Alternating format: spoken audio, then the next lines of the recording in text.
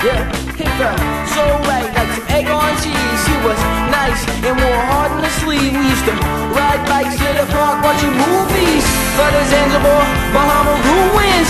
No promise for my words, keep us doing. Throw it up, deuces. Like, it's a fucking movement.